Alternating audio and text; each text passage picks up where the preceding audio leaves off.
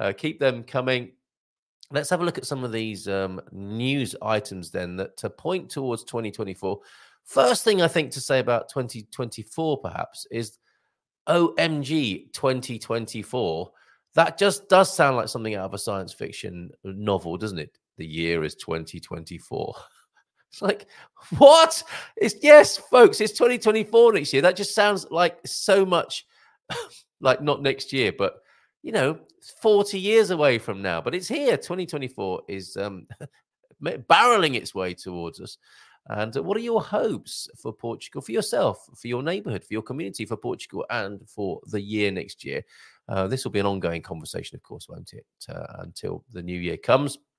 Then we have it again when 2025 um, is arriving. The Portuguese will be here a little bit later on with his unique take on this and other matters. So, what you got? What you're thinking uh, for um, 2024? Uh, do let me know. I'm going to go to uh, let's have a look at uh, the uh, news and information area of our own website here at goodmorningportugal.com, and we have a section uh, for those of you who prefer to hear it or watch it, there are podcast links and video there. And a lot of um, the headlines are all there, the things that I see during the day and post up here. I've got quite the collection now. And uh, you click it on on something you want to read, and it will take you to that particular item. And you can hear what's this? Wine drinking in the morning. Can you hear this?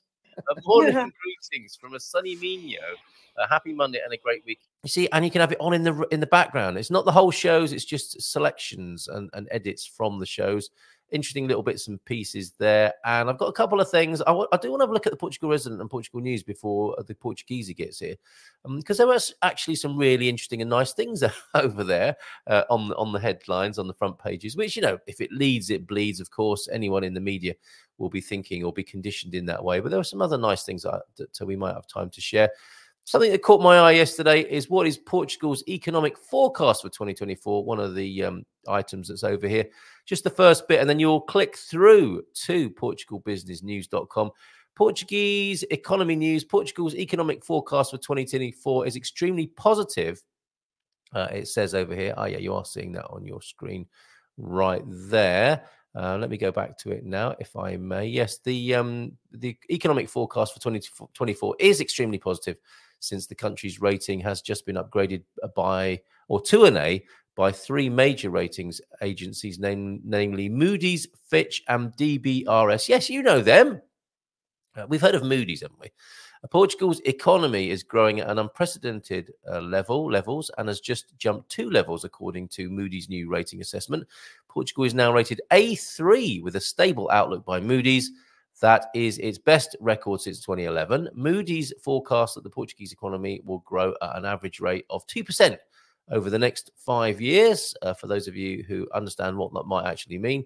Um, for the rest of us, I just, I'm, I think we're just thinking, well, that sounds like a good trend. Fingers crossed. Um, Portugal's impeccable credit rating will make it possible for the country to have access to lower interest rates and to a larger number of international investors. This is supported by Moody's assessment of the Portuguese economy that highlights the positive medium term effects of a series of economic and budgetary reforms. Let me just copy that link there and I'll put it in the chat for you so you can read more if you want to. Uh, that highlights the positive medium term effects of a series of economic and budgetary reforms, the deleveraging of the private sector, and the continued strengthening of the banking sector. Deleveraging, that is totally made up, isn't it? We'll come to is it a good time to buy a property in Portugal in 2024 in just a moment. But let me put the link um, through to uh, the chat there for you if you want the, the, that business news. Rugby Collar is commenting. Good to see you. Looking forward to seeing you at the weekend. Uh, you could broadcast the video. It is an alternative Christmas song about Guinness, but it is too and a half minutes of rude, of rude, of rudeness. I think there's going to be more of that on Saturday, Colin. Oh no, it's not rude. Okay, I think I might, I might vet it first, and uh, certainly I will pass that on to uh, Bobby for you. Uh, thank you very much. Uh, what's this? Ooh, I know you, naughty boy. what is that for? Okay, um, let's go back to this uh, news then here uh, of this week. I, I, break the news there down into. Um, uh, sections, uh, weekly sections of news. And uh, here now we're having a look at is it a good time to buy a property in Portugal in 2024? I hope you had a great day, incidentally, yesterday, Colin. It was the actual birthday yesterday, wasn't it? And uh, the celebrations continue into the weekend. So I hope you had an excellent day yesterday. Investropa, which is quite a clumsy name, is it not? I'm guessing is that Europa and Invest coming together to to bring you Investropa. Are you considering buying real estate in the land of port wine? I wonder if anyone just starts with that. Do you know what? I think I like port wine. I think I'll buy a house there. Are you wondering if the prices are adequately positioned? If that's check and check for you, let's read on. People have different thoughts about market timing. Yes, just like e- economists, right? Um, isn't that a really unaccountable profession? Your Portuguese friend might tell you that now is the ideal time to buy property, whereas your colleagues in Lisbon may think that prices will soon decline. At Investropa, when we create articles or update our pack of documents related to the real estate market in Portugal, we base our work on verifiable facts and concrete data. I, I, I, I do like saying data as data. Uh, naturally, I would say data, but concrete data sounds great. Sounds like uh, the name of a rapper, possibly, uh, rather than subjective opinions. Yeah, whatever.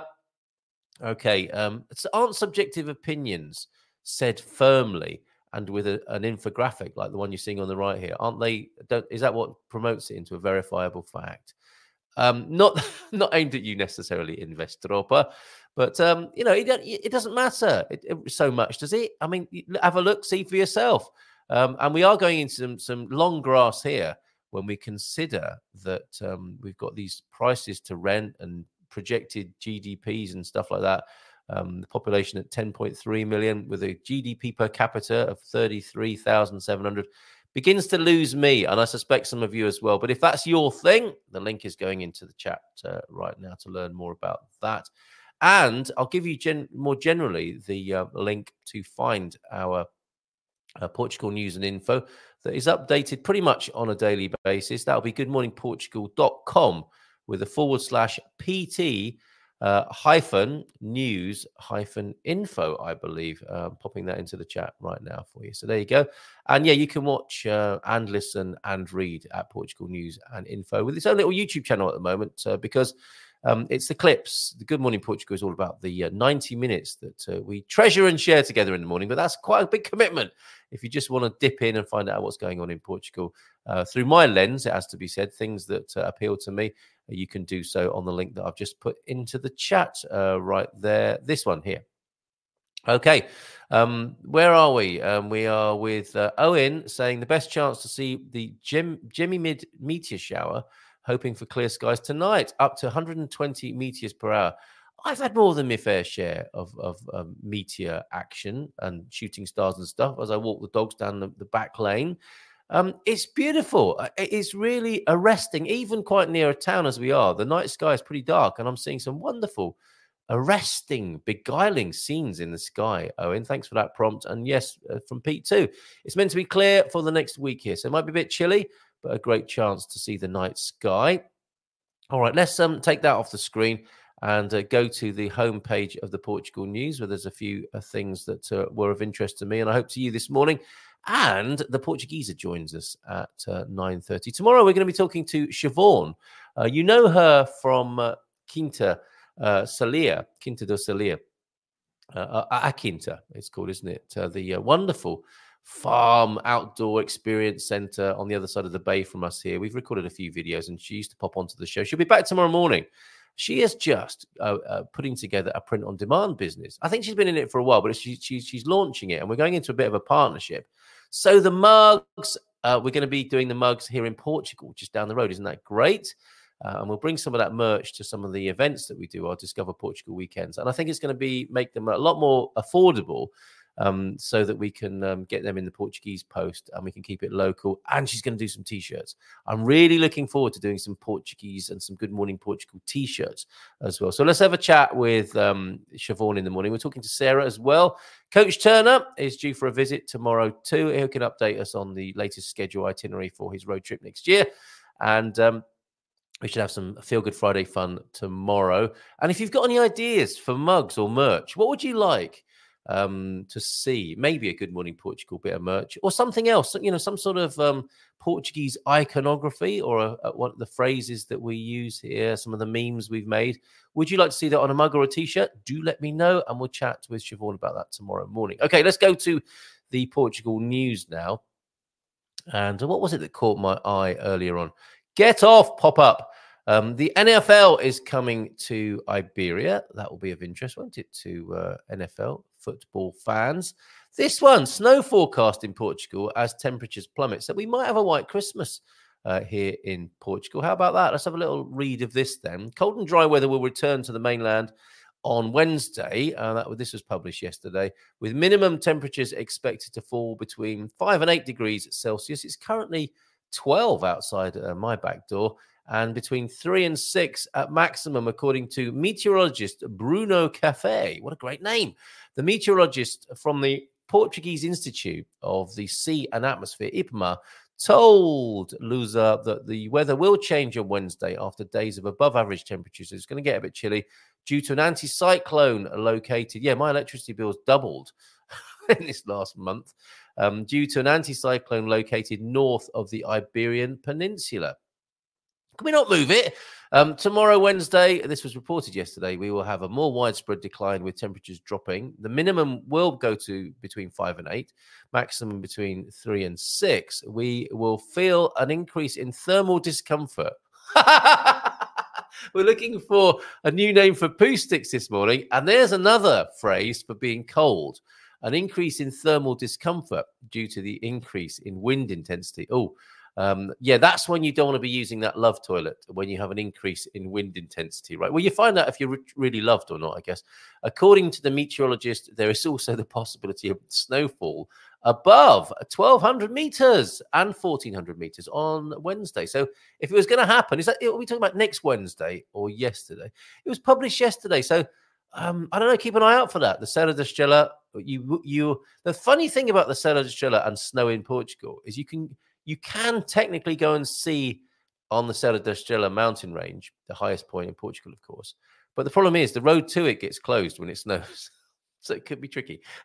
um, Carl uh, from uh, Orico. Morning, Doug. Doug's in as well. Good morning, Doug. Uh, this is a, a, great comment from Orico. There's been reference to the celebrations of the 50th, 50th uh, anniversary of the April 25th revolution next year. Have you seen the film I sent you inspired by what happened on that date? No, not yet, but I will. I suspect subconsciously I was saving that as I gird my loins and get uh, my the GMP machinery into shape. I can't wait to see that, Odiko. Thank you for that prompt and reminder. I think it'd be interesting for everyone here. I'll make sure it's um, it goes onto our website. Um, it's a good approximation of what happened that day and the respective situation. A brilliant primer for the year ahead. Thanks, Odiko, for that. And 12 degrees, that's weird because it's 12 degrees here currently. Yes, it is. So, but I'm um, guessing well, I felt suddenly a, a, a, surge of competitiveness with you, Doug. I don't think you've got a blue sky like I've got here. Hmm. okay, but I hope you're nice and warm over there in Wales, and thank you. And you had some lovely feedback for your uh, Advent video. Thanks for sending that, Doug. With um, "Silent Night" in sung by you in Welsh, and you do have a very high register, very beautiful. You've got an incredible vocal range, Doug. I'm meant to ask, uh, how's your recovery? Are you back to 100%, Dougie? That's to you from João de Norte this morning. Okay, so possible snow then here in Portugal. Let's go back to the Portugal news and to the front page.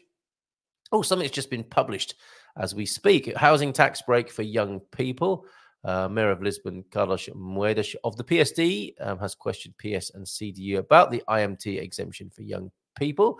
So housing tax break for the young there. It's not something that's paid though, is it? By is that for when you is that when you're buying or when you're when you're or your ongoing cost? Because you, if you're a renter, you don't pay that. So one of the interesting things about Portugal is the owner that pays the tax, uh, the council tax, not uh, the person who lives in the property if they're renting. Uh, Braga has been recognised as a sustainable destination. Well, that's a relief. Uh, more of that destinations.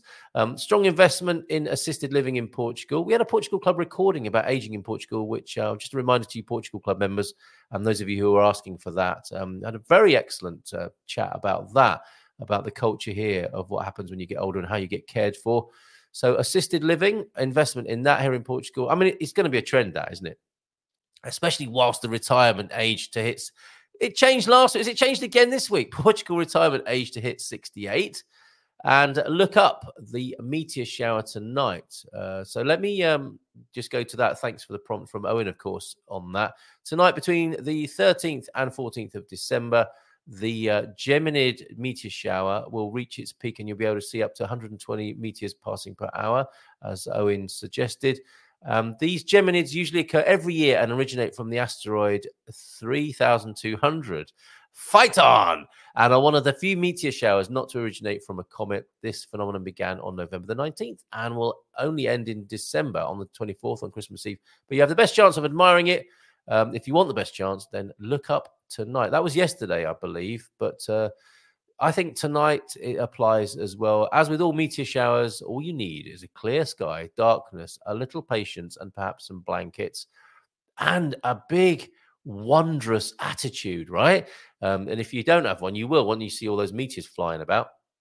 You won't need to look in any particular direction. Meteors can usually be seen across the entire sky, according to NASA. Thank you, NASA, for that. So don't forget to pop out maybe tonight and have a look at the meteors that are happening. What else is happening on the Portugal news front pages as we anticipate the arrival of the Portuguesa? North Americans rushing to Portugal. What's that about?